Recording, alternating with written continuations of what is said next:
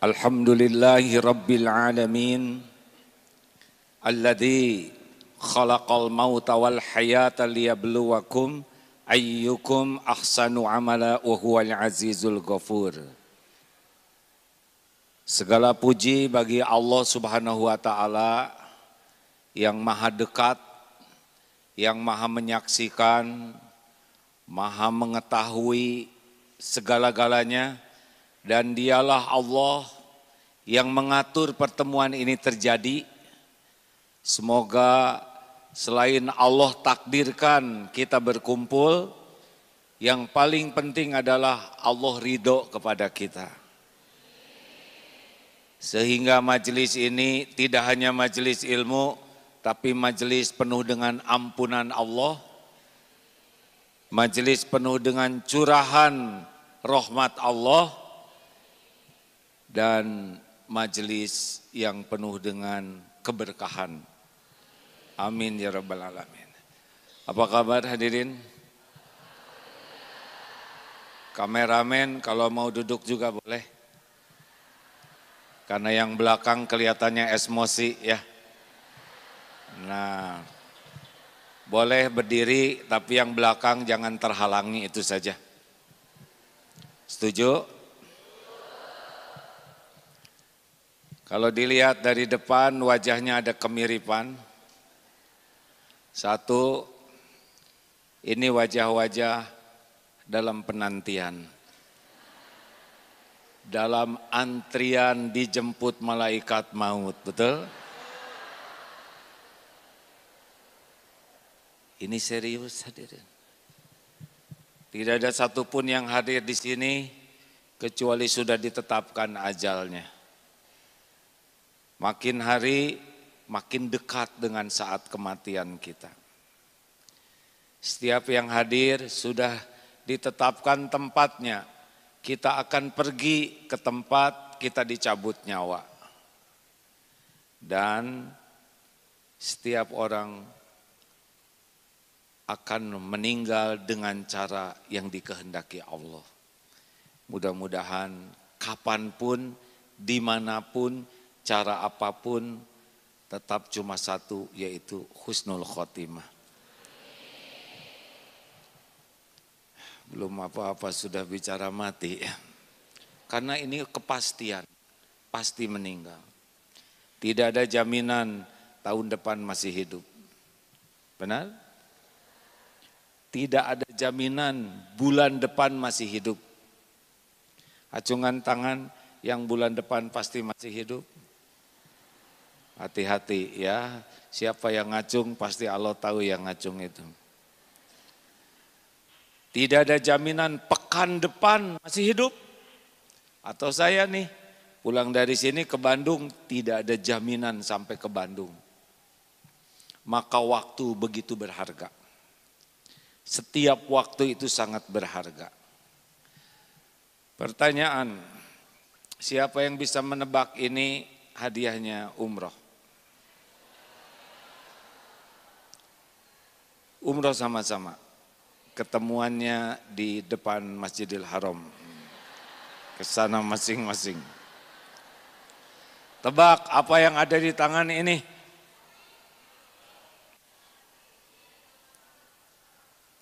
Kalau lama menjawabnya artinya bingung. Tidak tahu, betul tidak? Makanya bingung. Kalaupun bicara eh, tidak bulat hatinya kosong ya.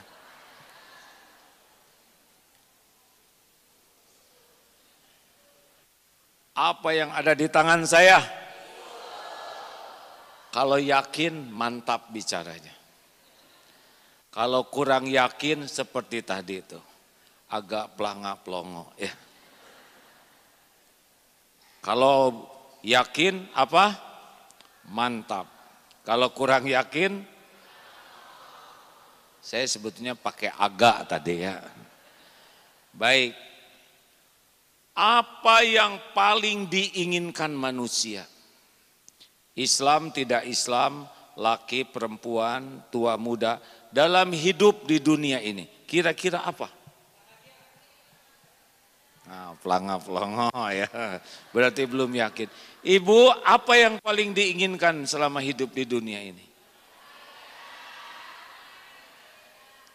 Kaya atau bahagia? Banyak uang atau bahagia? Terkenal atau bahagia?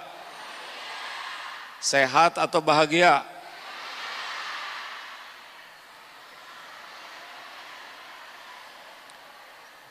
Jadi yang paling diinginkan apa?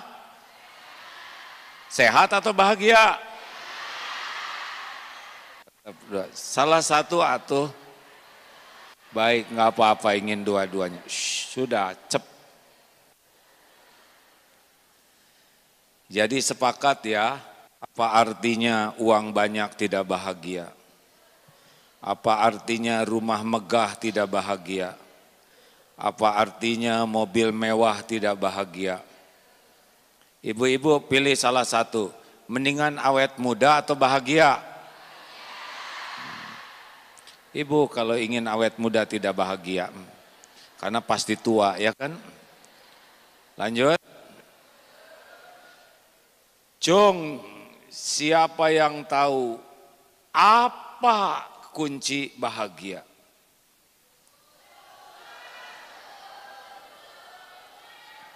Nah, artinya apa nih? Artinya apa? artinya bingung, belum tahu dengan pasti apa kunci bahagia. Banyak orang yang hidup sampai tua tidak tahu kunci bahagia yang sebenarnya. Akibatnya tidak begitu bahagia. Ibu wajahnya seperti agak lama di dunia ini. Tapi kurang pasti bahagia itu apa? Kan? Mau tahu bahagia itu kuncinya ada berapa? Dua. Bahagia di dunia dan bisa jadi bahagia di akhirat. Surat An-Nahl 97. Bahagia di dunia itu namanya hayatan toyibah. Kehidupan yang baik. Dalam segala keadaan selalu tenang dipuji, dicaci, sehat, sakit, diangkat, diturunkan, lapang, sempit, senantiasa hatinya itu bisa menikmati episode apa pun. Rezekinya cukup, dicukupi, ibadahnya nikmat. Apa kuncinya? Ternyata hanya dua kuncinya. A'udzubillahi minasyaitonirrajim. Man amila soliham min dzakarin au untha wa huwa mu'min falanuhyiyannahu hayatan thayyibah barang siapa yang beramal soleh baik laki-laki maupun perempuan dan dia beriman kepada Allah sungguh Allah mengaruniakan hayatan thayyibah kehidupan yang baik di dunia. Di akhirat akan mendapatkan lebih baik dari apa yang dia lakukan. Jadi kunci bahagia itu hanya dua, iman dan amal soleh. Ulangi. Jadi kalau kurang bahagia artinya apa? Pintar kurang iman dan kurang amal soleh. Jelas? Bukan kurang uang, bukan kurang aset, bukan kurang cakep, bukan kurang terkenal, bukan kurang tinggi jabatannya, tapi pasti kurang iman dan kurang amal soleh boleh e, merekam, tapi kalau lampunya dimatikan, ah, lebih bagus. Nggak apa-apa, tinggal matikan lampunya. Pasti ibu tidak sengaja kan, selalu berbaik sangka. Itu ada kertas yang menghalangi bapak, boleh diturunkan, kasihan. Jadi miring seumur hidup, copot saja pak. Ya, Kenapa hal-hal kecil kok dibahas? Karena ada dalil. amalan yang sangat dicintai Allah adalah memasukkan kebahagiaan ke hati orang lain. Bahagia apa? Oh, Bapak bahagia sekali karena dari tadi gini terus. Ya kalau sejam begini pulang begini siapa yang tanggung jawab? Makanya boleh berdiri asal yang belakang tidak terhalangi. Gitu. Lanjut.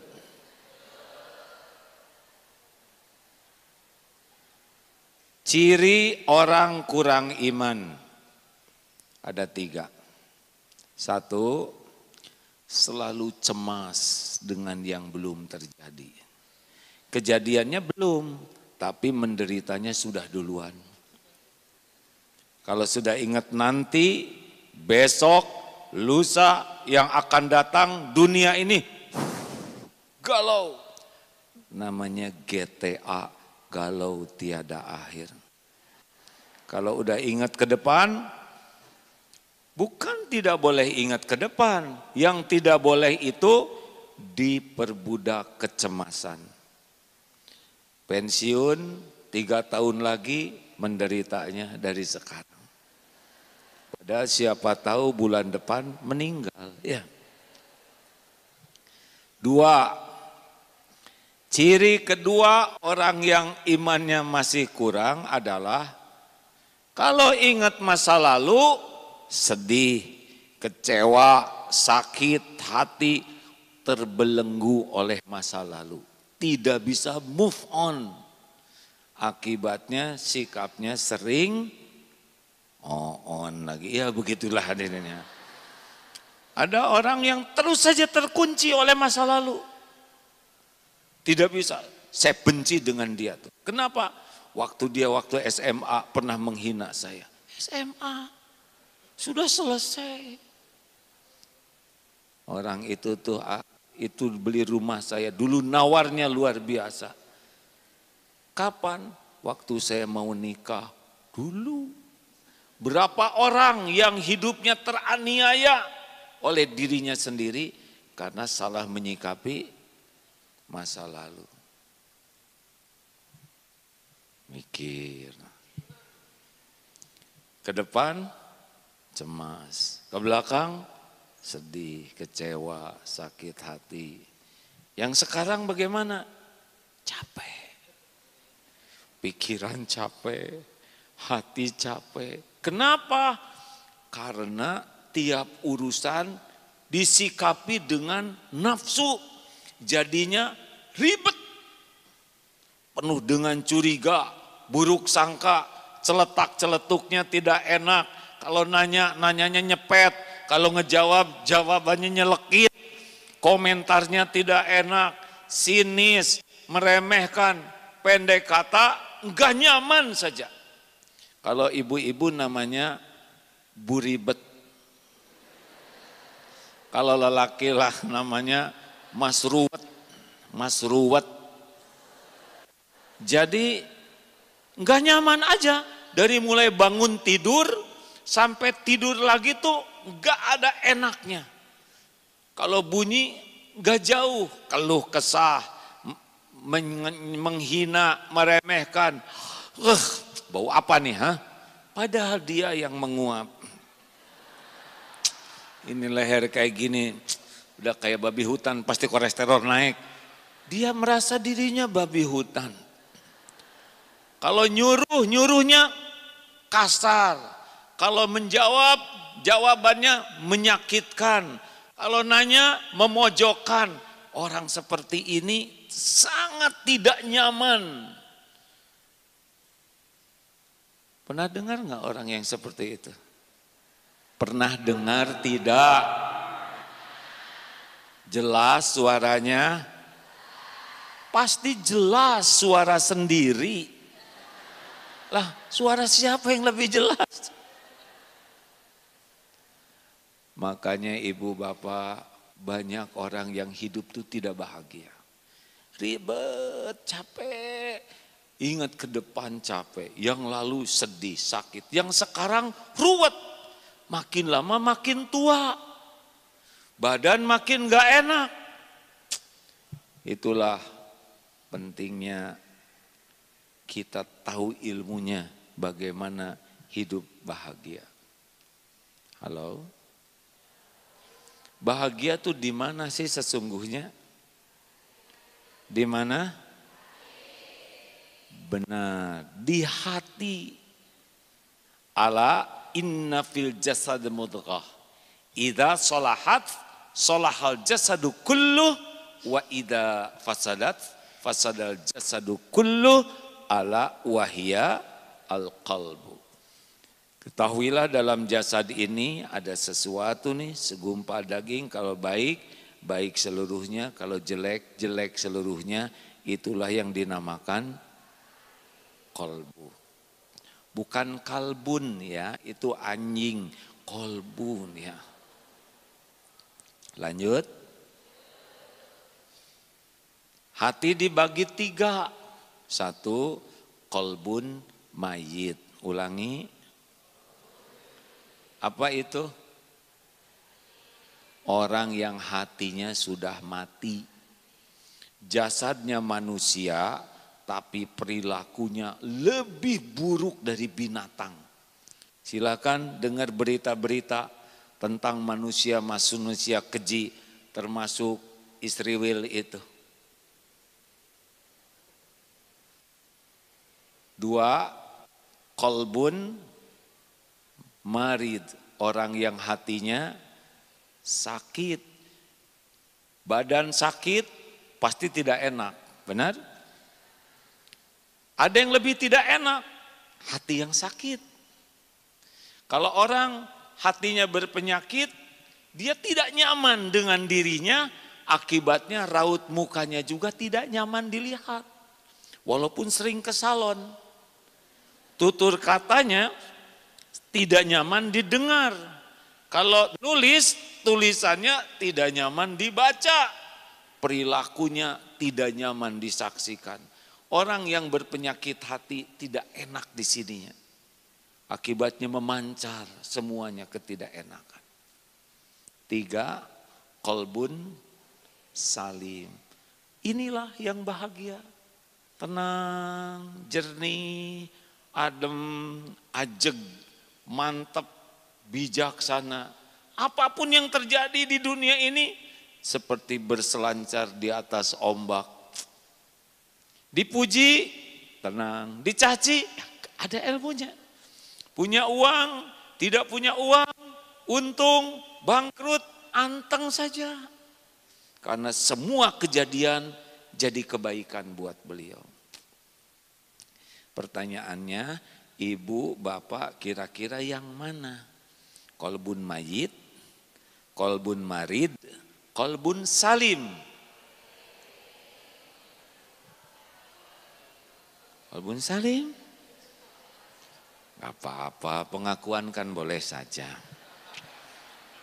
Ada yang kelewat. Ciri orang yang badannya sakit itu ngaku. Aduh sakit kepala, saya sakit perut, saya sakit kaki. Tapi yang berpenyakit hati tidak ngaku itu. Tadi lupa saya menjelaskan ini. Boro-boro ngaku dikasih tahu aja marah pak yang berpenyakit hati.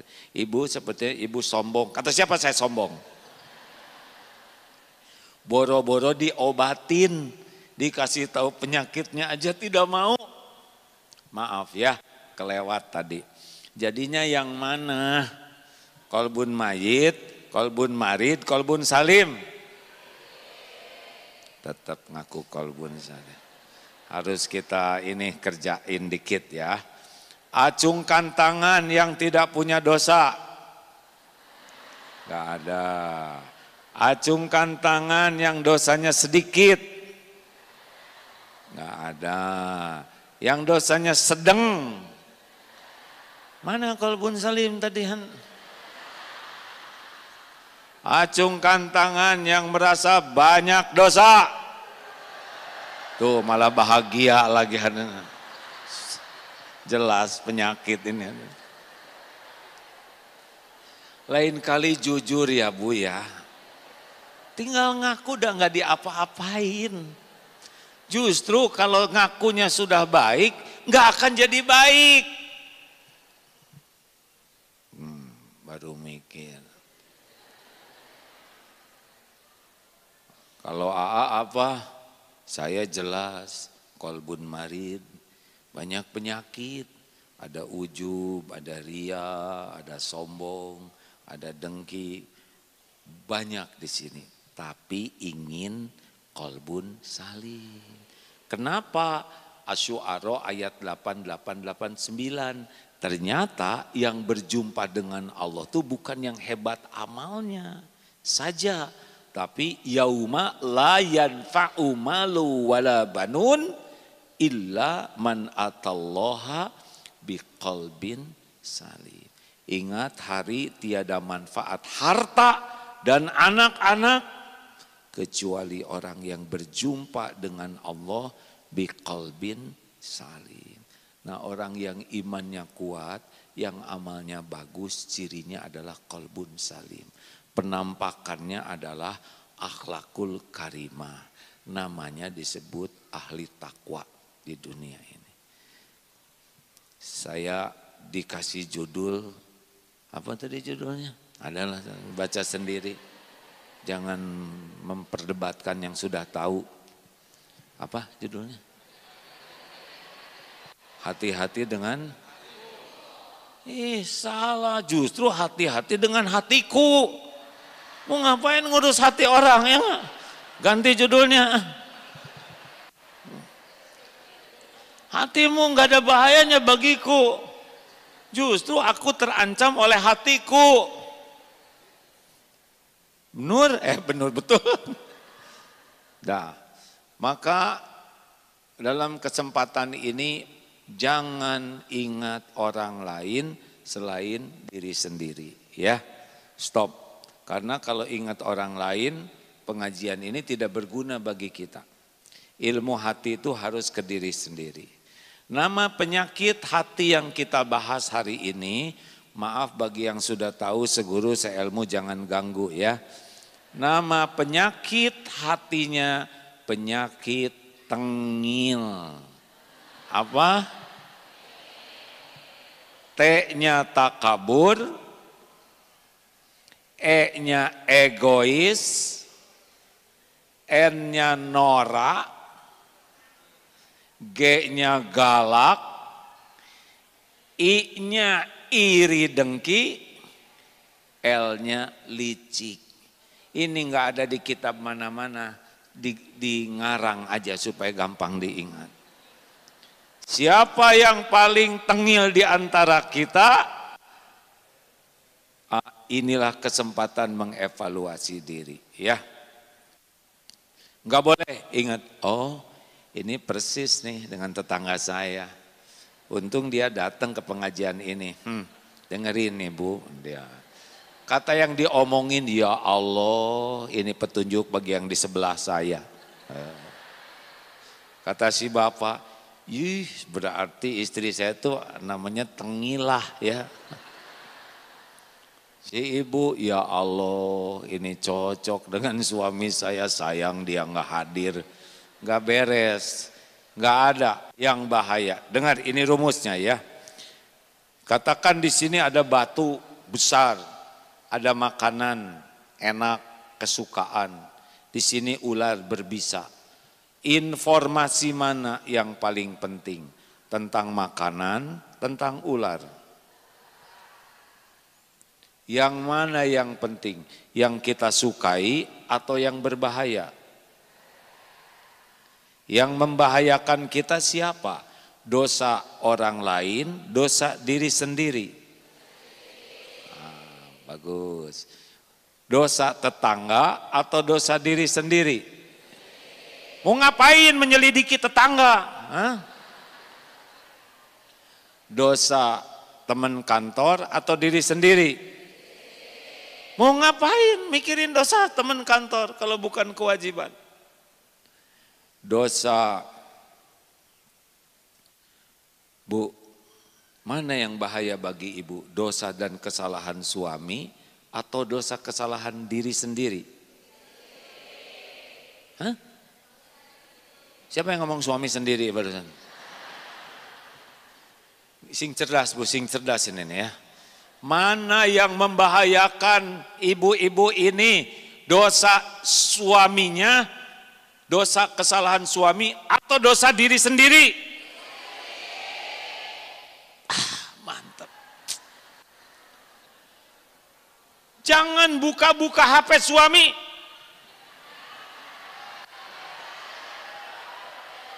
Baru aja diomong. Ya. Emang agak berat Bu, dengerin atuh jangan melawan kayak gitu. Kenapa jangan buka HP suami? Satu, ibu tidak tahu passwordnya. Tahu? Bagi yang sudah tahu, kalau sudah baca HP suami, hati jadi tenang atau makin galau?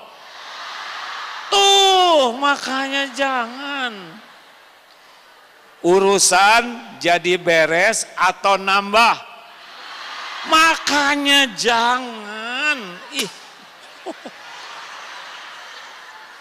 Makanya jangan.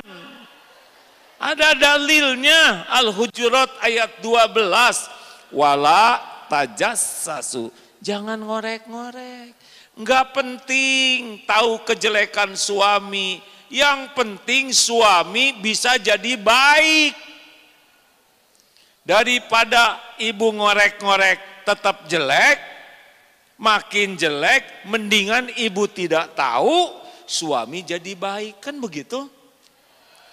Betul? Pegang nih rumusnya, lebih baik saya tidak tahu, tapi jadi baik. Daripada saya tahu makin gak baik, saya juga makin ngaco. Pak, ini lelaki di sebelah sana? Han? Hari ini hari apa?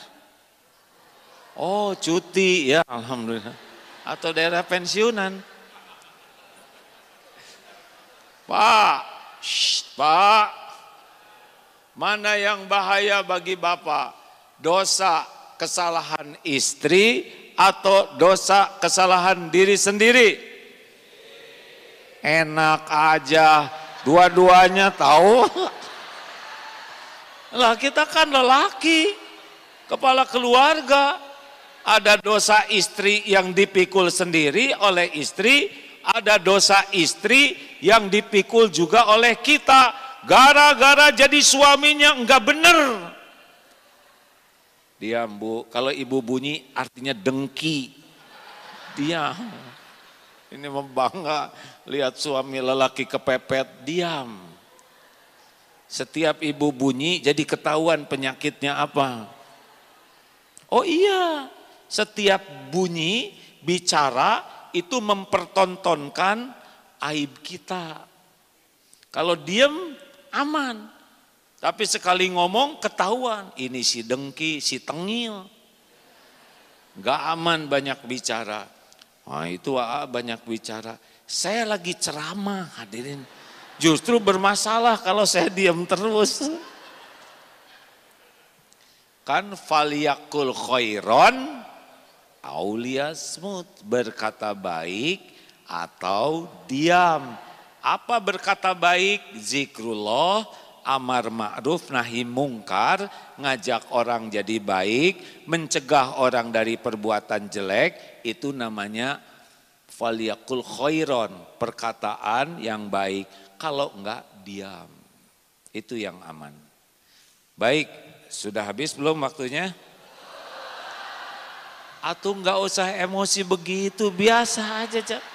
Tinggal jawab belum, ah ada masalah apa sih di daerah sini tuh? Perasaan dari tadi jawabannya salah melulu tuh. Tengil. T-nya tak kabur. Saya harus lihat jam nih. Si ketinggalan wus. Tak kabur. Dalilnya sahih. La yadkhulul jannah tidak masuk sorga.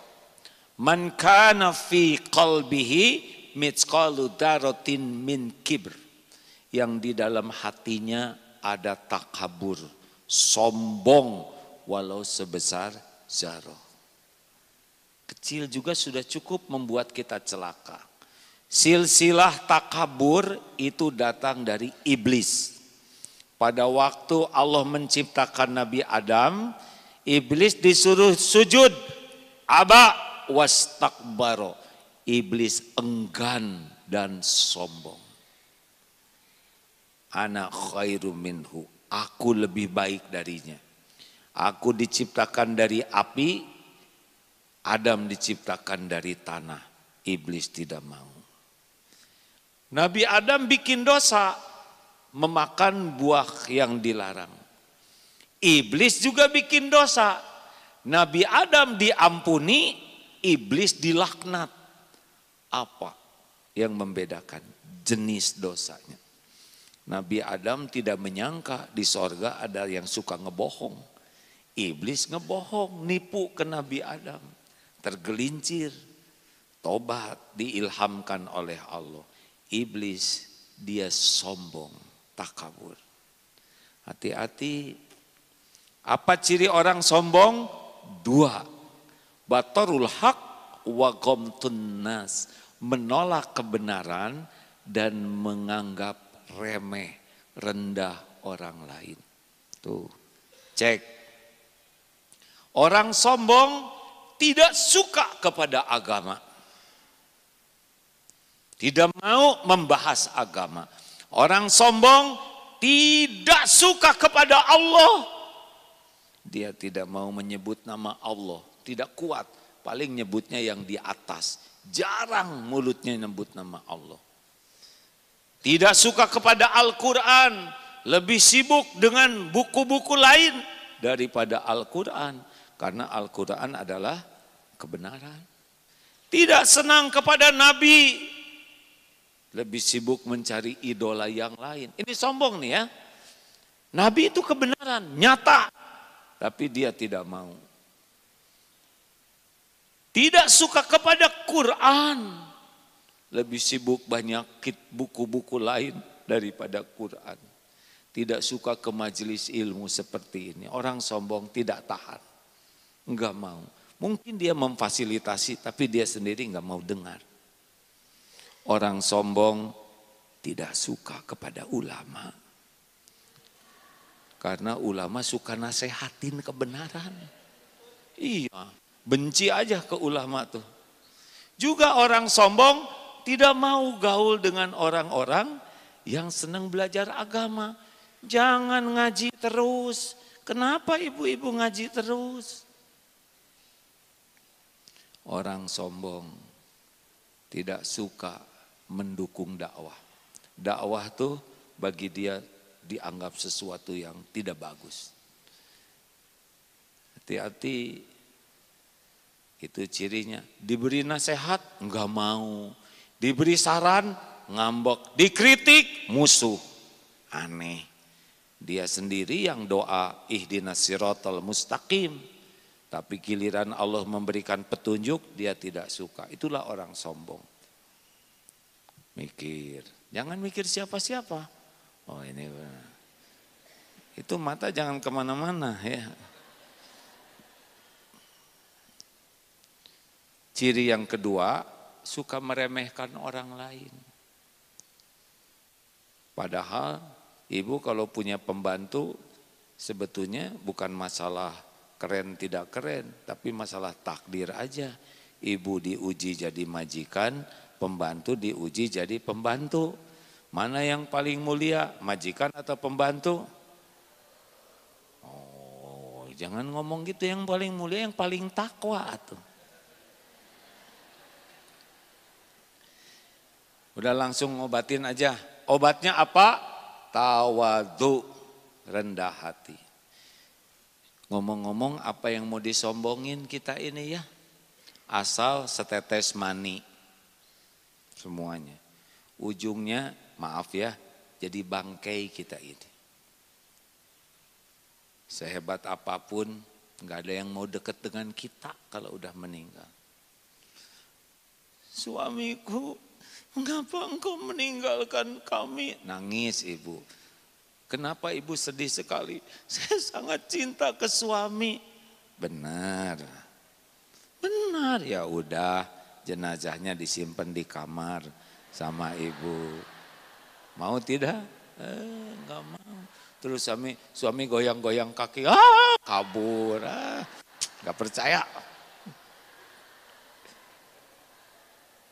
Kita udah meninggal mah Pak, udah lewat. Ini direktur utama paling berjasa karena beliau sangat baik, maka jenazahnya akan kita simpan di ruang rapat. Eh, nggak ada yang rapat. Horor. Jangan sok keren Pak. Kita udah meninggal mah orang udah nggak mau deket-deket kita. Nama kita aja udah nggak disebut. Coba kalau nanti saya meninggal ya, mana Agim? Mana nggak mungkin. Di mana jenazahnya gitu. Jangan sok keren. Kalau kita meninggal coba berapa lama. Nanti kalau kita meninggal orang-orang datang. Apakah benar ngedoain? Belum tentu. Datang-datang malah posting. Tuh, tuh jenazahnya tuh. tuh. Cuman gitu. Udah gitu pulang. Sibuk dengan kegiatannya. Mungkin yang tertinggal di atas kuburan kita, sekitar kuburan, hanya keluarga dekat kita. Berapa lama akan nunggu di sana? Ah, enggak lama. Lama-lama sejam, dua jam pulang. Kita tinggal sendirian di sana. Jangan sok keren lah. Dan ke mana-mana kita teh bawa kotoran, ya kan? Yang sembelit udah tiga hari udah ngumpul di sini. Maaf ya, kentut bau, betul tidak? Jadi apa kerennya? Tiap lubang di tubuh kita ini mengeluarkan kotoran. Ini ngeluarin keringat. Kalau bayi berkeringat, seneng ya. Hmm, tapi makin tua beda. Gak tahu gimana aromanya jadi beda. Mungkin tercampur dosa ya. Iya kan? Hidung kotoran, belek kotoran, sini kotoran. Mau keren gimana? Kita dihormati orang karena Allah menutupi aib, dosa, maksiat, kejelekan, kekurangan kita. Itu yang membuat kita masih dihargai. Ini ribuan orang datang. Katanya mau dengerin ceramah Aagin. Kenapa saudara mau datang? Kenapa saya diundang? Karena Allah menutupi aib, dosa, kejelekan, kekurangan Abdullah Gimnastiar. Itu aja. Kalau dibuka, bubar pasti. Beneran. Dulu aja yang halal dibuka, gempar enak. Udah, udah yang lalu sudah ber... Ingat yang tadi ya. Setiap patah kata kembali kepada yang berkata. Hmm.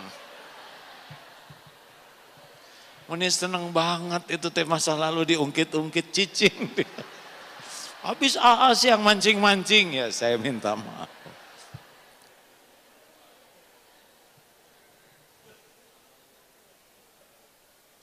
Lihat di negara kita Pak, jabatan tinggi, ketua titik-titik, menteri, jenderal, dibuka dikit oleh Allah aibnya, seketika jatuh. Benar? Gak usah sombong lah. Oleh Allah dibuka mah gosong kita seketika. Kenapa? Raden ini, bapak-bapak masih dihargai istrinya. Karena istri tidak tahu kelakuan bapak yang sebenarnya. Hmm, langsung nunduk tuh. Gak ada yang berani lihat saya. Gak usah sombong ya. Gimana caranya? Selalu belajar. Selalu mencari ilmu. Itu ciri orang yang tidak sombong. Selalu senang mendapatkan nasihat selalu senang mendapatkan saran, bahkan kritik pedas level 10 tetap dinikmati.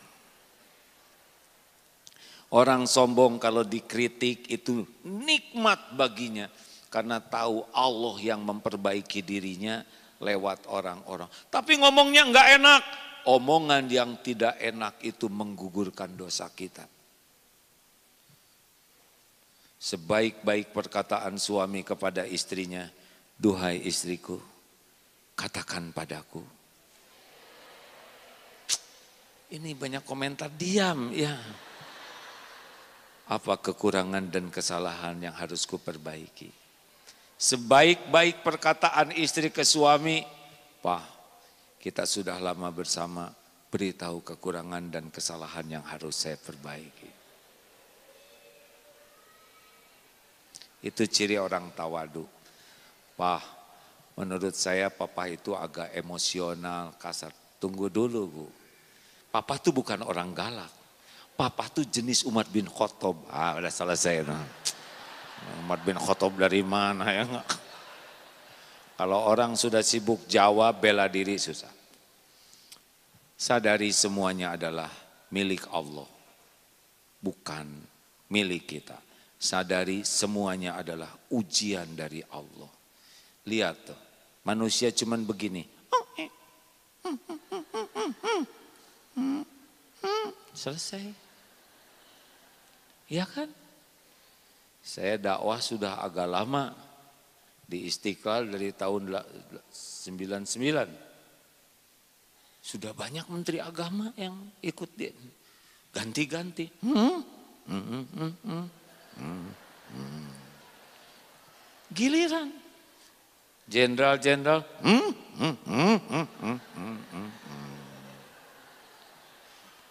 Hanya mampir sebentar. Kita nunggu juga. Beneran ini. Jangan centil ya Bu ya. Capek. Apalagi kalau suami punya jabatan, istri biasa aja. Saya dari keluarga tentara, ayah saya seorang prajurit TNI. Jadi eh, pernah punya pengalaman lihat-lihat. Uh, itu kalau suaminya komandan, ada ketipu oleh casing. Sini segala dipasang, betul tidak? Padahal prajurit menghormat ya emang digaji buat menghormatnya bukan karena menghormat dia ya kan? Halo? Kepaksa aja nggak menghormat jadi masalah. Harusnya jangan bangga karena yang dihormat casing. Kalau udah pensiun udah selesai tuh hormat-hormat kayak gitu. Istri komandan atau jangan ikut campur daftar enggak, seleksi enggak, latihan enggak. Masa suami kolonel, istri brigjen yang ah yang bener aja. Malu lah ya. Semua prajurit tahu ibu enggak ikut daftar ya. Dah daftar juga enggak akan keterima, betul tidak? Nah, jinak aja ya bu ya. Halo. Dan yang lebih repot anak komandan. Enggak jelas sama sekali ya kan? Di sekolah nilainya blekok, tapi galak. Ini ketipu casing, nggak bisa bahagia. Hormati orang lain. Shh.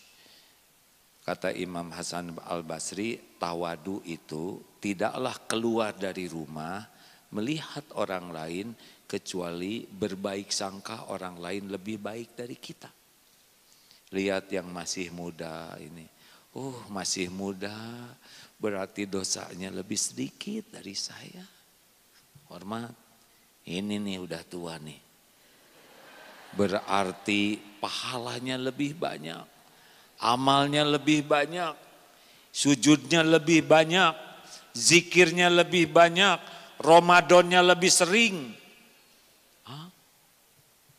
Lihat yang tergelincir bikin dosa, Siapa tahu dosa ini yang mengantarkan tobat nasuha. Berapa banyak yang gara-gara dia dosa jadi tobat, jadi bagus. Ada ibu-ibu ditangkap, masuk penjara, di penjara hafal Quran. Kenapa ibu-ibu ini belum hafal Quran?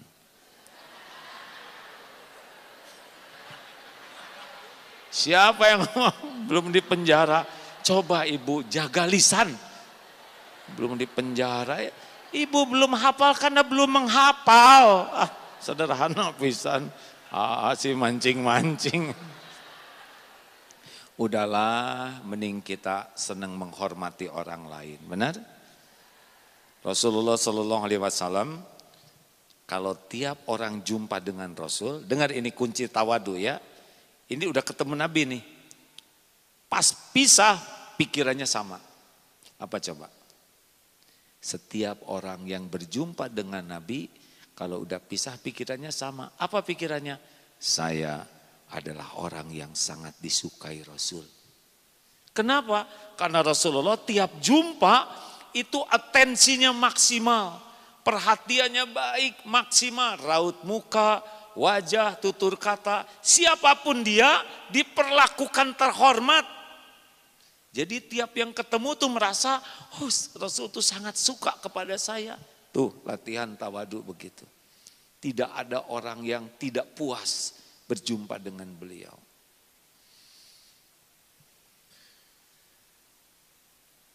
Semua ngangguk. Dua, wah kepanjangan nih saya salah nih Han.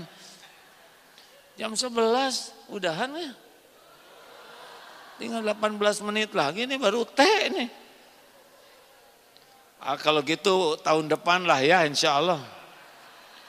E, egois. Ego normal, egois itu makan korban. Keluar dari sini cari sendal masing-masing normal. Tapi keluar dari sini cari sendal yang lebih baik. Makin ego, makin tidak bahagia. Karena kita jadi memikirkan apa yang untuk kita. Salah.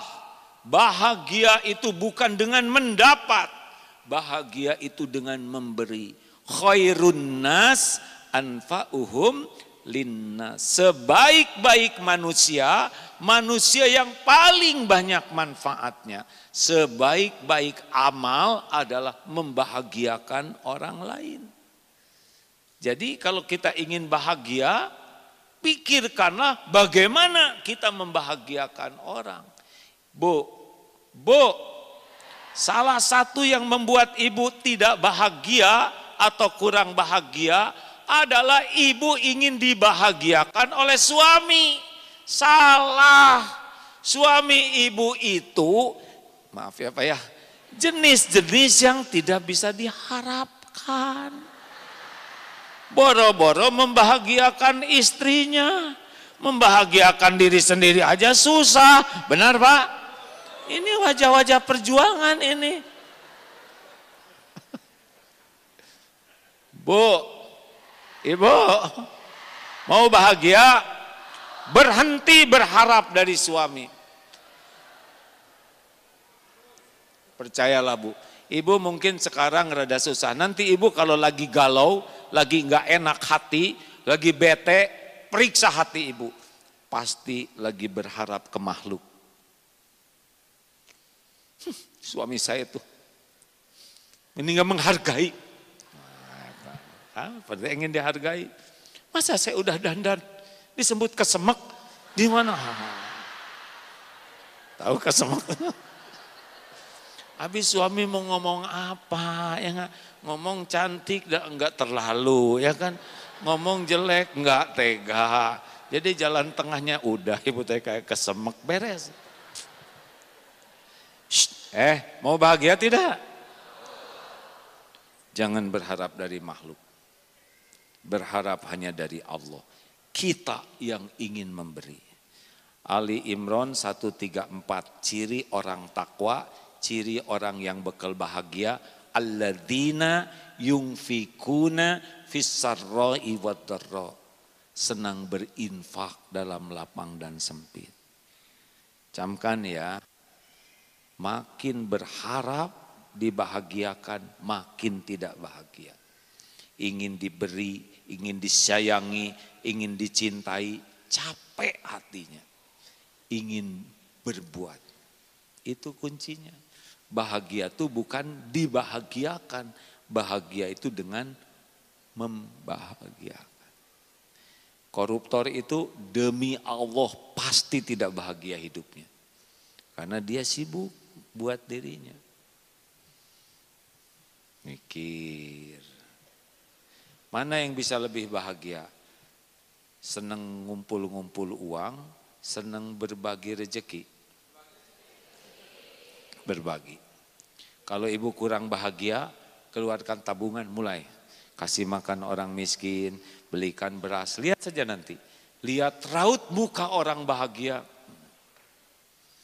Cara yang paling dekat untuk bahagia adalah bahagiakan orang lain. Karena yang membahagiakan itu Allah. Pegang itu. Makin pelit, koret, kedekut, buntut kasir, cap jahe. Coba tes dulu. Kalau punya uang 120 ribu, yang mana yang disedekahkan? Jujur. Jujur. Ternyata bukan dua lembar, tapi tiga lembar. 125, jadinya yang mana? sudah jelas kan kebayang nasibnya. Eh keselip ternyata empat lembar 127. Dua ribu ya sudahlah terserah aja. Makin pelit makin tidak bahagia. Mau bahagia? Bahagiakan orang lain. Mana kosot sodakotun min mau tidak akan berkurang harta dengan sedekah. Tiga, N, Nora. Nora itu orang yang sibuk dengan penilaian orang lain. Penilaian makhluk. Capek, capek. Siapa di antara ibu-ibu yang paling tidak tenang? Yang paling ingin kelihatan lebih dari kenyataan ingin kelihatan langsing, tahan napas gitu. Jadi matanya Oh iya. Apalagi menjelang dipotret kak. Ini langsung ngerempot begini. Bu, ibu, mau bahagia enggak? Jujur, jangan langsung salehah ya, jawab dulu. Khusyuan mana? Sholat atau dandan? Itu yang bikin ibu tidak bahagia. Demi penilaian orang habis-habisan. Tapi sholat demi penilaian Allah Tuhan kita sisa aja. Hah? Sholat gesit, tangkas, cepat,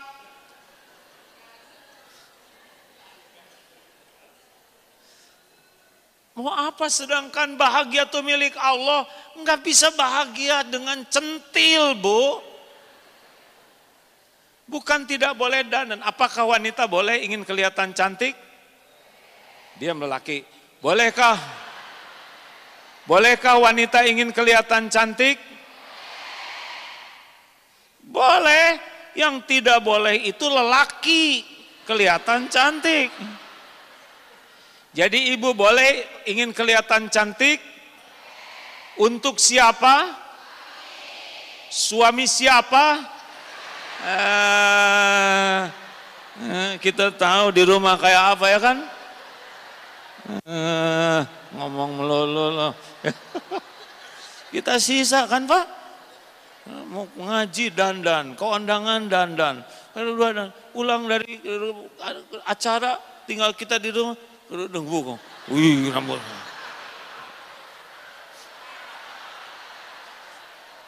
Mau pergi pulang ke rumah. Ini saya bisa lihat wajah-wajah yang menjiwai.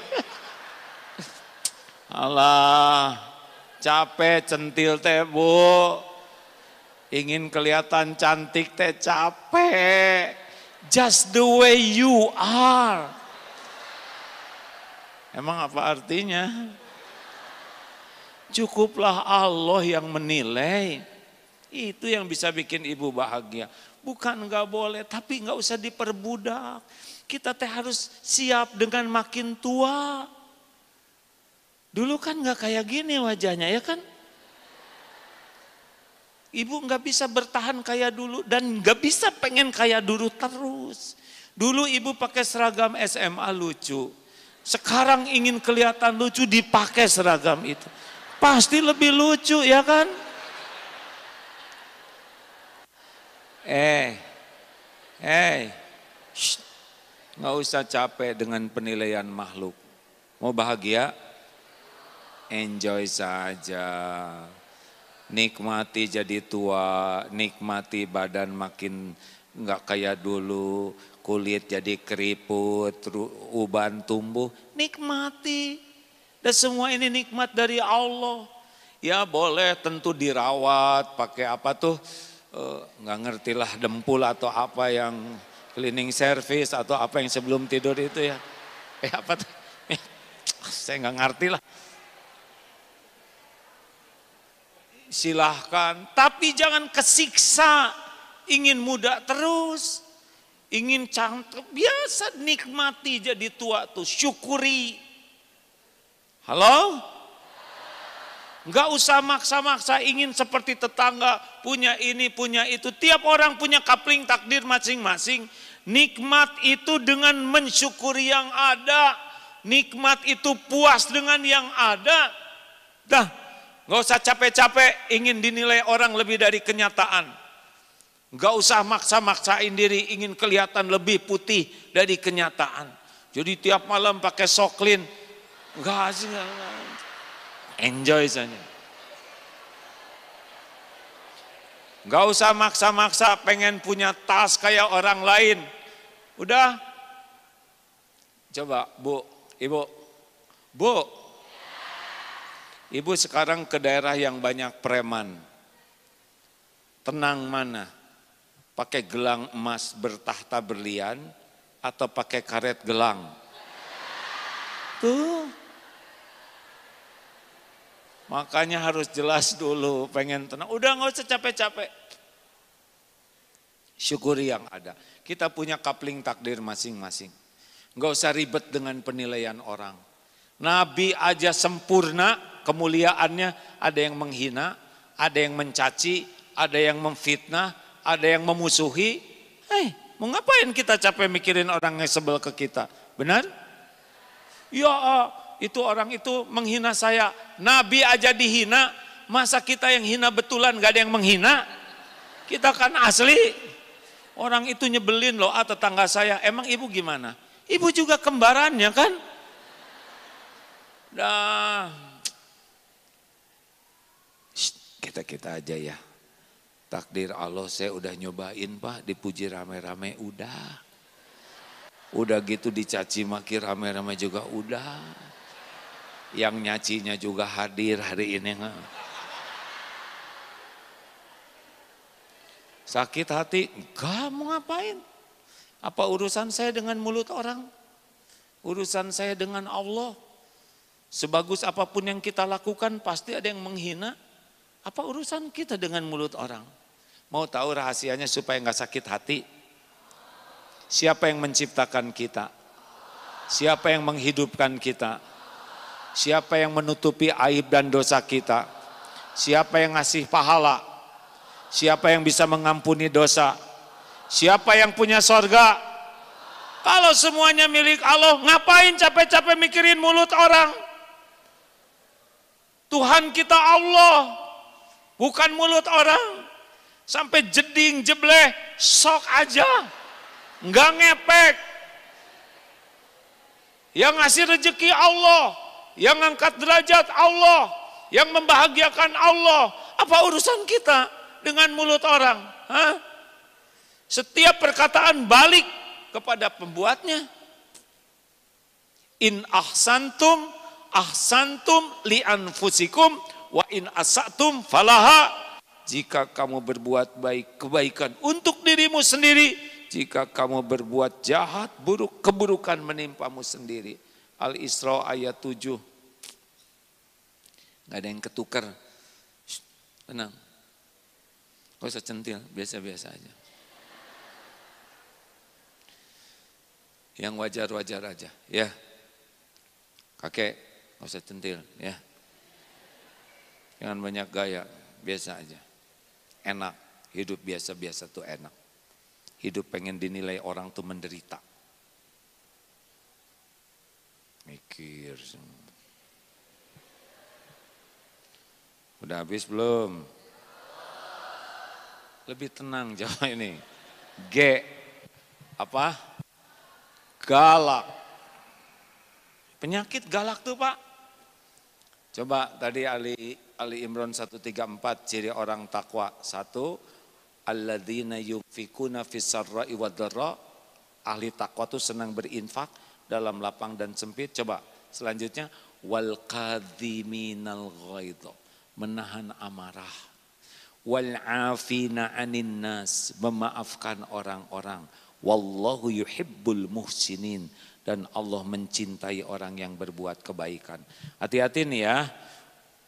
Sering pengajian, sholat di masjid, baca Quran, tahajud, tapi mudah marah. Enggak begitu. Orang takwa itu bisa nahan marah. Orang takwa itu nggak memendam benci, pemaaf. Orang takwa itu senang membalas keburukan dengan cara yang lebih baik. Saya heran nih yang suka marah-marah nih. Marah normal, tapi mudah marah, marah-marah terus, nggak bisa berhenti marahnya itu yang nggak normal. Lelaki, bapak-bapak, Mau tidak punya istri yang bangga kepada suami? Jawab, mau tidak? Hormat kepada suami. Nurut sama suami mau? Tidak pernah rewel mau? Tidak pernah ngungkit-ngungkit mau? Mau tidak? Gimana caranya? Shh, gimana caranya? Nah, bingung kan? Nih dengerin, dengar, dengar, dengar, dengar. Bu, kalau ibu melakukan kesalahan, maunya dimarah oleh suami, dicuekin, atau dinasehati dengan lemah lembut? Jawab semuanya. Dimarah mau tidak? Dicuekin mau tidak? Catat lelaki ya. Kalau istri salah, jangan marah-marah. Jangan cuekin. Nasihati dengan lemah lembut. Dinasehatinya di depan anak-anak atau secara pribadi? Jangan suka nasehatin istri di depan anak-anak. Catat. Nasehatnya mau panjang lebar atau simple? Simple. Mau bertele-tele tidak? Jangan bertele-tele. Simple. Udah gitu mau dimaafkan nggak oleh suami? Dimaafkannya sesudah minta maaf atau sebelum minta maaf? Catat. Jadi maafkan istri sebelum istri minta maaf. Eh, mau nggak ibu diungkit-ungkit kesalahan yang lalu? Mau tidak? Jangan ngungkit-ngungkit. Gitu bu? Hmm. Jadi coba shh, tenang pak, jangan gugup, tenang ini ya. Ini serius nih.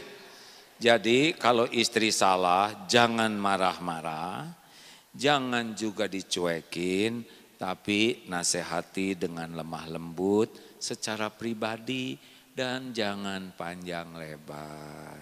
Semakin ringkas semakin bagus kan Bu? Bagus. Jangan ngungkit-ngungkit yang lalu. Fokus yang ini aja. Udah itu sebelum istri minta maaf langsung dimaafkan. Udah gitu mau nggak bu? Sesudah dimaafkan oleh suami, suami langsung ngasih uang banyak. Mau tidak? Kalau suami ibu seperti itu, ibu bangga tidak? Respect tidak? Ibu hormat sama suami begitu? Mau nurut? Gak akan rewel? Ah, beres lah. Ah. Baca ayatnya, itu Quran loh Pak. Ali Imran 134. Satu ayat itu udah cukup tuh nyelesain mak-mak ini. Beneran. Itu kan wal kadhiminal ghaidha menahan amarah wal afina 'anin nas memaafkan wallahu yuhibbul musinin dan berbuat baik. Tahan marah, maafkan, berbuat baik itu ciri orang takwa. Nggak ada cerita marah-marah, dendam-dendaman, dibalas dengan keburukan apa? Ini pelajaran apa? Nggak ada pelajaran gitu dalam Islam. Nggak ada cerita lagi di sini ngomong-ngomongin jelek orang, apa-apaan. Itu kan ada suami yang komplain, ah, istri saya tuh ah, ke pengajian tuh kayak makan obat, sehari tiga kali ah, tapi yang berubah cuma seragamnya. Ah, kelakuannya nggak berubah. Dan yang meningkat, saya kira iman, ternyata cicilan.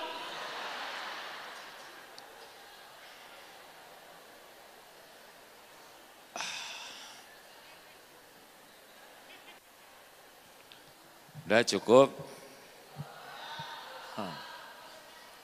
Bu, Nggak usah marah-marah lah. Maafkanlah. Enak jadi pemaaf tuh.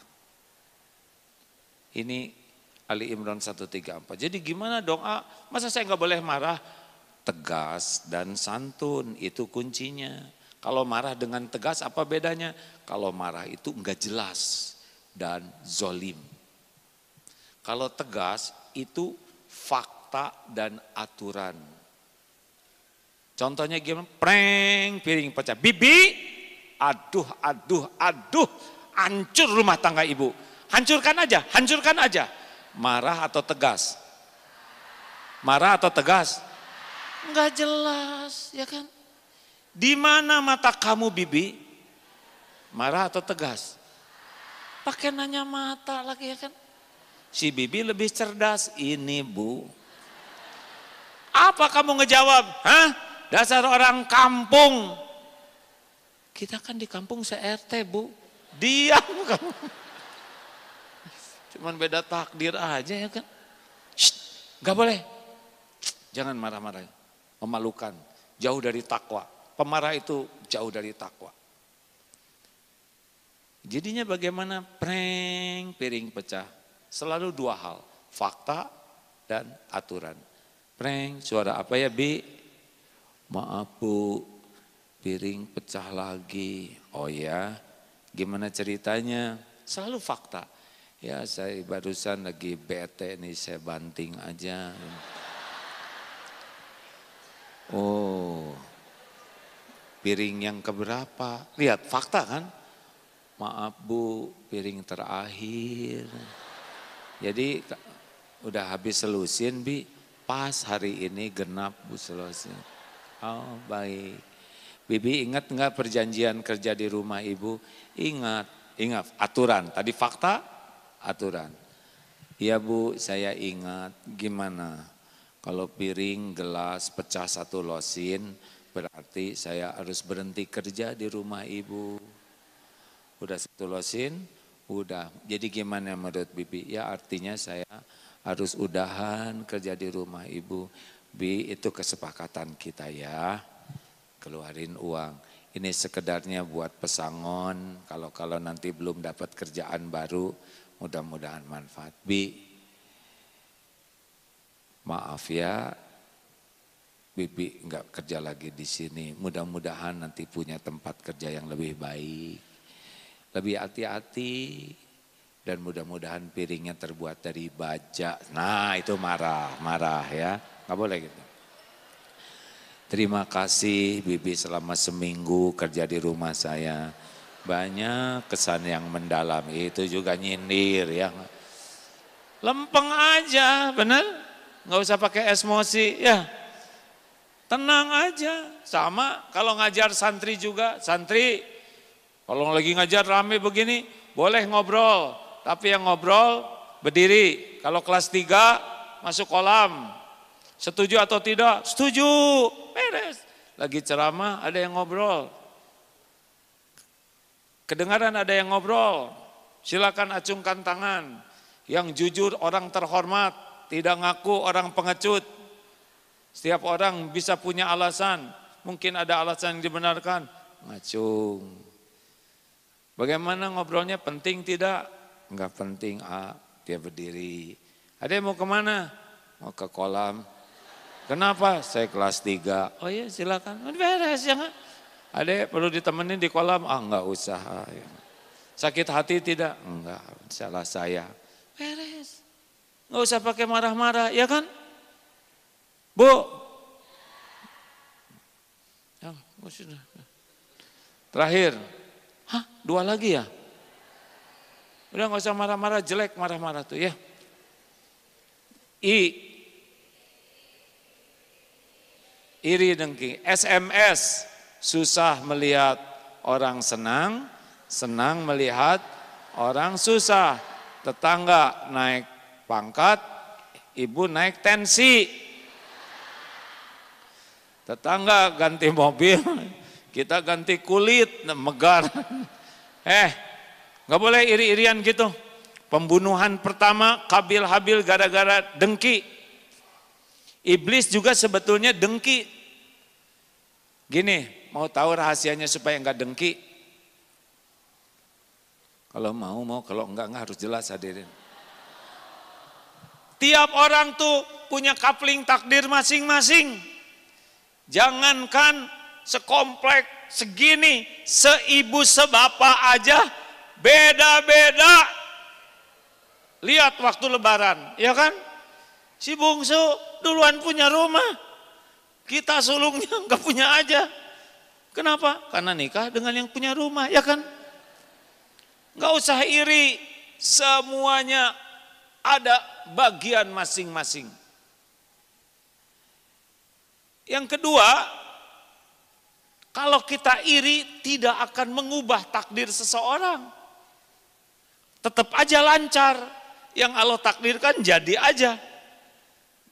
Tapi mengubah diri kita habis pahalanya sebagaimana kayu terbakar. Rugi. Dan yang ketiga, kalau lihat orang dapat rezeki supaya enggak dengki, doakan. Semoga berkah. Ini emang tetangga umroh. Kenapa dia umroh? Ikro baru jilid dua kok umroh sih? Kenapa haheho haheho gitu? Dengki.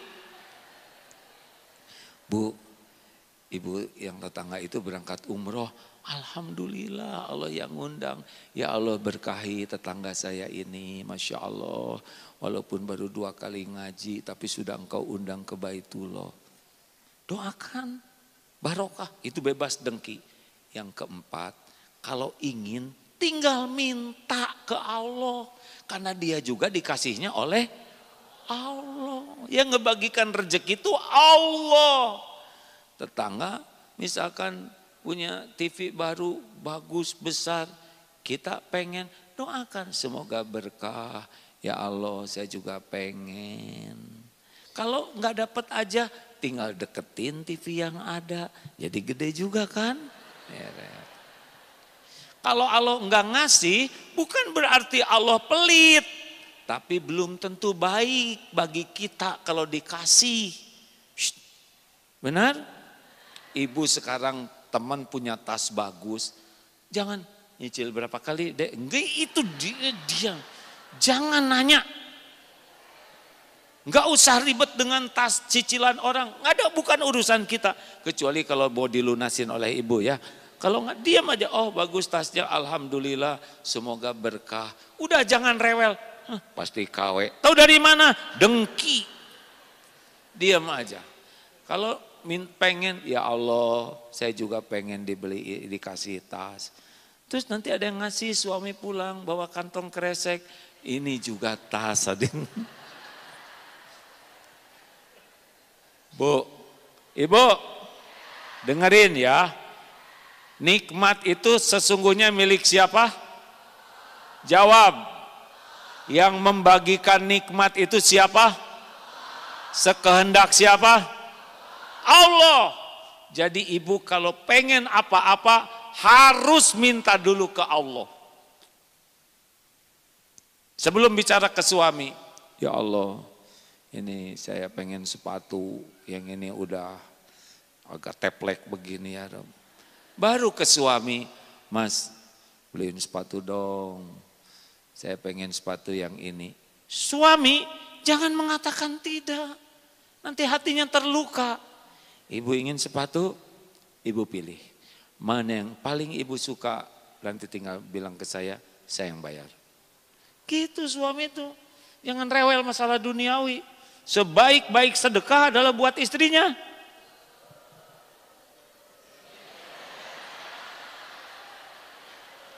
Udah gitu Bapak juga doa sama Allah.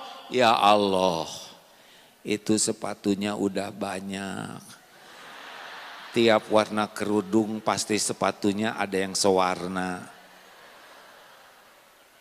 Saya sih mau aja ngasih tapi takut istri saya jadi berat hisabnya.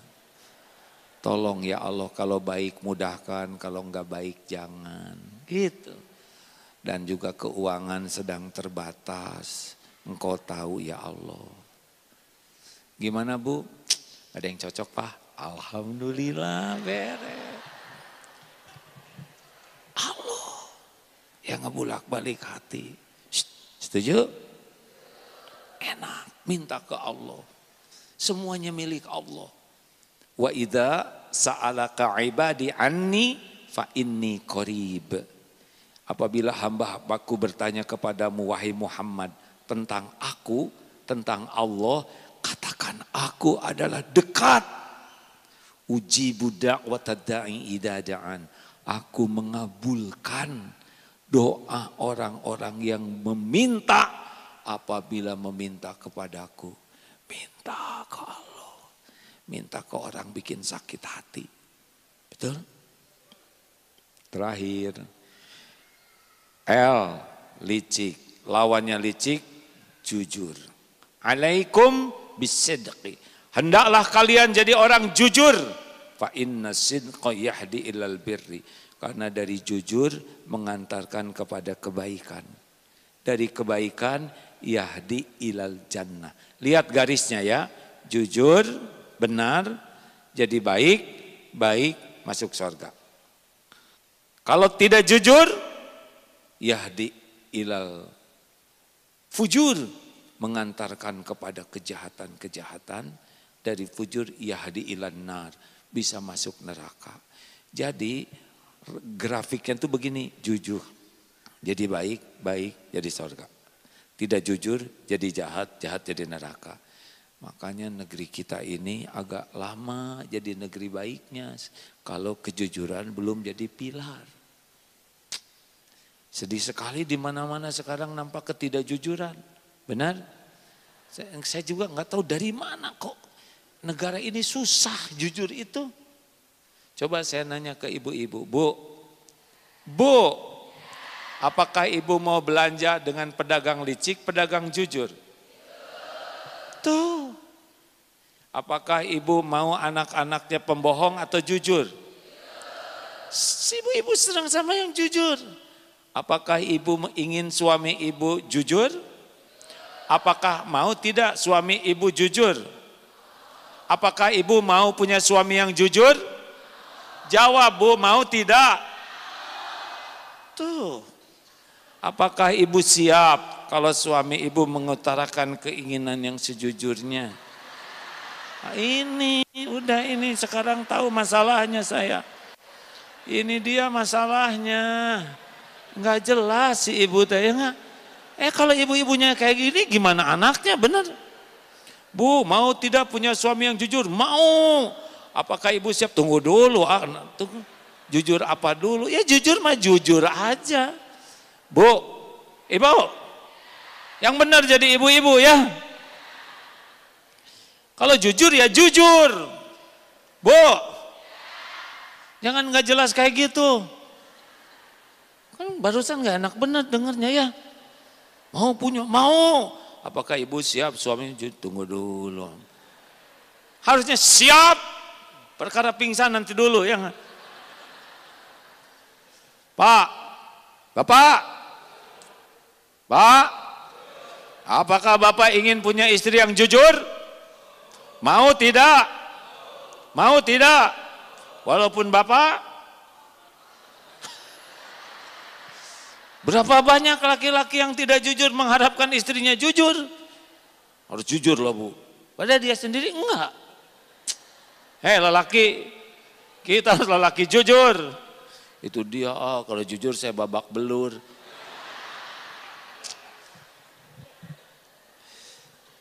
Bukan hanya kita loh pak, penjahat juga katanya nyari temennya yang jujur.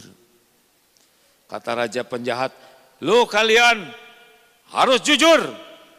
Penjahat, anak buahnya kaget. Kita kan penjahat bang, nggak apa-apa, yang penting jujur. Padahal mereka kelompok penipu. Betul tidak pak? Kok ngangguk sih? Ya udah nggak apa-apa. Udahlah, nikmati hidup jujur, betul? Apa adanya, udah tenang aja. Mungkin nanti ada ada yang menghina, meremehkan, gak apa-apa. Gak ada apa-apanya. Gak ada apa-apanya. Tapi Allah ridho kepada kita.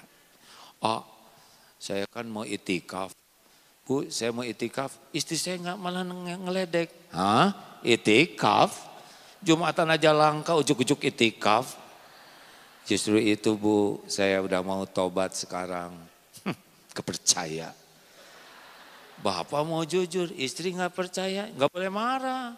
Kalau memang mau jujur karena Allah, saya itikaf lah bu, insya Allah. Pagi pulang. Keluyuran ke mana pak? Ke mana keluyuran malam ini? Coba itu pak. Padahal kita itikaf, tenang. Alhamdulillah saya itikaf bu. Kepercaya pak. Enggak dari wayatnya sama sekali. Gak boleh marah pak. Orang jujur ikhlas tuh enggak. Ya asli loh bu, saya itikaf. Maaf aja pak, saya nggak percaya. Gini bu, Ibu mau percaya atau tidak, itu urusan ibu dengan Allah. Urusan saya adalah menyampaikan yang sebenarnya. Alhamdulillah semalam saya itikaf. itu mengikuti ceramah si Agim di Youtube. Saya juga udah pernah dengar gitu. Ya udah nggak apa-apa, lempeng aja. Bilang ya Allah engkau tahu saya itikaf. Tapi kalau istri nggak percaya, engkau lah yang menjelaskan. Tiba-tiba suatu saat istrinya habis belanja. Bu makasih ya bu buat suaminya. Kata tetangga ibu-ibu. Eh apaan terima kasih sama suami saya. Ya kan suami saya itikaf sama suami ibu. Sekarang suami saya jadi rajin ke masjid. Biasanya jarang ke masjid, jogging 20 km, sepeda 50 km. Tapi ke masjid tuh enggak mau padahal cuma 30 meter. Dulu sih kayaknya pengen digotong oleh tetangga. Tapi sekarang alhamdulillah suami saya udah rajin ke masjid, ke saya juga sekarang jadi jarang marah-marah. Makasih ya Bu. Kalau Allah mau ngebela gampang. Allah kan tahu kita nggak ngebohong, benar? Allah tahu tidak sih? Allah tahu. Si ibu jadi tahu pulang ke rumah, Mas maafin saya ya. Kenapa? Ya ternyata Mas benar-benar itikaf. Saya aja yang suudon. Nah sekarang ujian buat suami. Udah dibela oleh Allah gimana reaksinya? Makannya. gagal. Saya dari dulu nggak soleh-soleh. Nah, Harusnya bagaimana? Shh, ibu, dah nggak apa-apa. Saya mengerti kok. Ibu nggak percaya sama saya karena selama ini juga sayanya nggak bagus akhlaknya. Tambahan baru pertama kali lagi itikaf. Nggak apa-apa bu, doakan aja supaya saya makin istiqomah. Oh, so sweet. Betul tidak? Takabur, solusinya rendah hati, Egois solusinya senang berbagi. Nora solusinya sibuk dengan ingin dinilai Allah. daripada ingin dinilai makhluk. Galak solusinya tegas dan santun. Iri dengki solusinya doakan bagi orang lain dan minta ke Allah kalau pengen. Jangan ribet dengan rezeki orang dan licik solusinya. Jadilah orang yang jujur. Kalau hati makin bersih, enak hidup ini. Tenang, adem, Masya Allah. Saya punya satu cerita, satu lagi boleh? Bonus. Waktu haji ada cerita gini, usia 70 tahun, awet muda, seger terus, fit, ke kakek ini awet muda, seger. Apa rahasianya? Rahasianya saya itu tidak suka berdebat, tidak suka berbantah-bantahan. Oh gitu kek. Jadi menurut kakek kalau orang tidak berbantah-bantahan cenderung lebih sehat, lebih segar, awet muda. Ya kalau menurut saya gitu. Apa kata si pemuda? Kalau menurut saya sih nggak mungkin lah ke masa cuma tidak nggak nggak berbantah-bantahan kemudian jadi awet muda menurut saya sih nggak mungkin lah ke. Apa jawaban si kakek? Saya setuju dengan pendapat saudara beres yang udah dibilangin nggak mau berdebat ya kan. Penyakit hati suka berdebat. Eh, jangan suka berdebat Mau makan berdebat, mau pergi berdebat, mau pakai baju berdebat. Buat lebih rileks. Ya, mau tidak nih? Gak worth it lah. Nonton sepak bola, nontonnya udah selesai, sama-sama nonton, udah gitu dibahas lagi. Ngapain? Udah selesai, betul tidak? Pilpres udah beres, dibahas lagi. Udah selesai, jangan ribet. Mau tidak? Jangan. Apalagi istri pakai baju yang mana aja udah biarin. Yang makainya juga beliau, ya kan? Ibu juga nggak usah pakai nanya. Pak, baju yang mana yang cocok? Yang biru atau yang merah? Menurut papa sih yang merah. Ih si papa mah yang biru, tahu yang bagus. Eh dia yang nanya. Dia yang nanya, ya gak? Udah gitu keluar teh hijau lagi biarin, biarin. Ada usia 80 tahun. Kakek kok seger banget? Yang 80 nih Pak. Apa sih rahasianya? Kalau saya sih rahasianya kuncinya dua. Apa aja? Satu, saya tidak mau marah-marah. Kecuali untuk urusan penting. Yang kedua apa kek? Yang kedua, ternyata urusan duniawi ini tidak ada yang penting. Bagi beliau hanya urusan akhirat aja. Jadi nggak marah-marah. Kek, spion copot tuh. Ada yang maling. Biarin, beli lagi. Bagi-bagi rezeki, beres. Kek, listrik jadi naik nih sekarang. Makin mahal. Cabut. Hah, dicabut gelap dong. Bayar, beres. Tenang aja sih kakek. Ini bayaran makin mahal nih kek. Cucunya keluarin. Ih, dikeluarin, blow on dong bayar. Kalem aja. Kenapa semua urusan harus bikin marahan? Halo? Dunia nggak ada apa-apanya. Nggak ada apa-apanya. Saya udah 63 tahun nih hidup. Udah tahu gak ada apa-apanya. Ribet-ribet kayak gini. Makanya nggak pusing sekarang. Enjoy saja. Bahagia. Ngobrol juga. Mau makan, mau makan, ayo nggak nggak apa-apa. Jadi jadi nggak nggak udah dunia mah laporan RUPS, ah ini perusahaan ini sekarang gak ada untungnya, biarin, terserah Allah ya kan. Yang penting tobat, beres. Jadi pikirin juga tetap gak untung, betul tidak? Ini dolar naik, punya enggak, enggak punya, ya udah diam, ya enggak. Silakan kalau Bapak ingin awet muda amalkan ini Pak. Jangan marah-marah, jangan ribet hidup ini. Allahumma salli ala Sayyidina Muhammadin wa ala alihi wa ashabihi ajma'in. Alhamdulillah ya Allah, wahai yang maha mendengar. Telah engkau dengarkan apa pun yang terucap. Hujamkan diri kami kepada kami hanya ilmu yang manfaat ya Allah. Allahumma inna nas'aluka ilman nafi'an wa rizqan tayyiban wa amalan mutakabbalan. Ya Allah, Engkau maha tahu siapa diri kami yang sesungguhnya. Tidak ada yang luput dari penglihatanmu semua dosa dan aib kami. Duha yang maha pengampun. Engkau janji akan mengampuni hamba-hamba yang berada di majlismu. Ampuni sebusuk apa pun hidup kami. Ampuni sekelam apa pun masa lalu kami. Ampuni ya Allah sehitam apa pun kehidupan yang pernah kami jalani.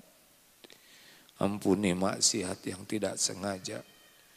Ampuni maksiat yang sengaja. Ampuni dosa yang berulang-ulang.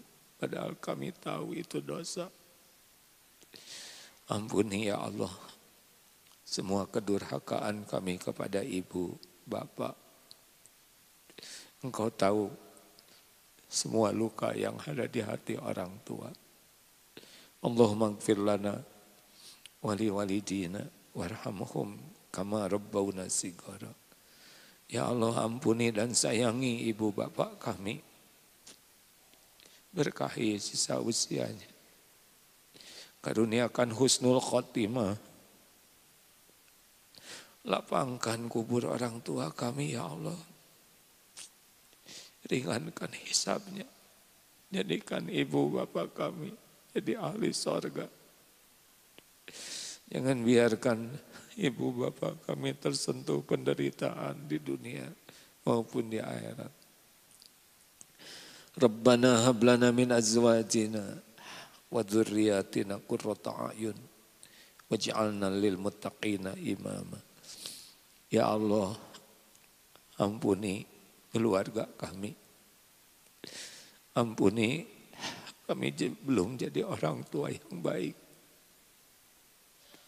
Ampuni betapa banyak contoh buruk yang kami pertontonkan kepada keluarga. Ampuni kami belum bisa amanah terhadap anak-anak yang kau titipkan. Ya Rob, ampuni semua sikap kami kepada pendamping hidup. Astagfirullah. Berkahi rumah tangga kami. Karuniakan kepada kami keluarga yang sakinah. Rumah tangga ahli ibadah. Cukupi hanya dengan rezeki yang halal barokah. Jadikan anak-anak yang kau titipkan anak yang soleh, soleha, hafiz, hafizoh. Jangan biarkan mereka menuntut kami di akhirat. Ya Allah utuhkan keluarga kami di dunia ini penuh berkah. Andai ajal memisahkan, kumpulkan kami semua di sorga. Jangan biarkan satu pun jadi ahli neraka. Duhai Allah yang maha mendengar, Engkaulah yang maha tahu kapan hidup kami berakhir. Jadikan hari-hari yang tersisa ini, hari-hari yang benar-benar Engkau ridhoi Jadikan umur yang tersisa ini dengan hati yang selalu yakin padamu. Allahumma inna nas'aluka imanan kamilan wa yaqinan sadiqan wa qalban khashian. Allahumma inna nas'aluka taubatan nasuha wa taubatan qoblal maut wa rahmatan indal maut wa magfiratan ba'dal maut. Allahumma hawin alaina fi sakaratil maut Allahumma inna nas'aluka husnal khatimah wa na'udzu bika min su'il khatimah. Ya Allah, berikan kekuatan iman bagi yang masih lemah. Berikan jalan keluar bagi yang sedang dihimpit masalah. Berikan kecukupan bagi yang kekurangan ya Allah. Jamaah ini lepaskan dari lilitan hutang. Berikan kesembuhan bagi yang sedang sakit ya Syafi'i. Berikan terkabulkan hajat-hajat yang dimohonkan ya Allah. Undang ke Baitullah jamaah ini ya Rabb. Sempurnakan haji hajah yang mabrur-mabrur. Ya Allah jadikan umur yang tersisa ini merasakan nikmatnya istiqomah. Nikmatnya lahir batin sehat wal afiyah. Jadikan akhir hayat kami semua husnul khatimah. Wa na'udhu bika min su'il khatimah. Allahumma a'izzal Islam wal muslimin. Allahumma ansur ikhwanana fi Filastin. Tolonglah saudara-saudara kami di Palestina ya Allah. Engkau menyaksikan semuanya. Tidak ada satupun yang kuasa menolong saudara kami selain engkau. Kuatkan imannya ya Allah. Lindungi dari kejahatan, kezaliman. Ya, ya Allah sempurnakan perjuangannya. Menangkan atas kaum yang zalim. Jadikan setiap yang wafat engkau jamu jadi syuhada Jadikan setiap kehilangan kau gantikan dengan yang lebih baik. Ya Allah bebaskan Masjidil Aqsa dari kejaman, dari kezaliman kaum Yahudi ya Allah. Ya Arhamar Rahimin. Rabbana atina fid dunya hasanah. Wa fil akhirati hasanah tawakina azabannar. Berkahi majlis ini, berkahi masjid ini, berkahi siapa pun yang memuliakan dan memakmurkan rumahmu ini ya Allah. Rabbana Rabbana atina fid dunya hasanah wa fil akhirati hasanah wa qina adzabannar subhana rabbika rabbil izzati amma yasifun. Wassalamun alal mursalin ya Allah alhamdulillah. Terima kasih Bapak Ibu. Ini luar biasa yang hadir banyak sekali mudah-mudahan ada takdir kita ketemu lagi kalaupun tidak di dunia Mudah-mudahan ketemu di sorga nanti. Assalamualaikum warahmatullahi wabarakatuh. Waalaikumsalam warahmatullahi wabarakatuh. Alhamdulillah.